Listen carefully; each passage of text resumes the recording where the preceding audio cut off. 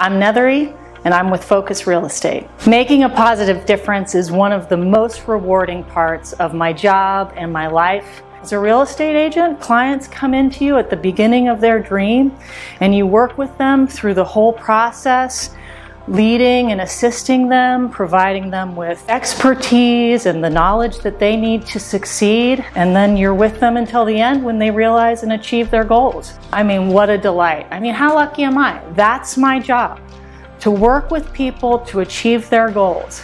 I love it. I love my job and I'm I'm blessed to be good at what I do and I'm blessed to do it here at Focus Real Estate.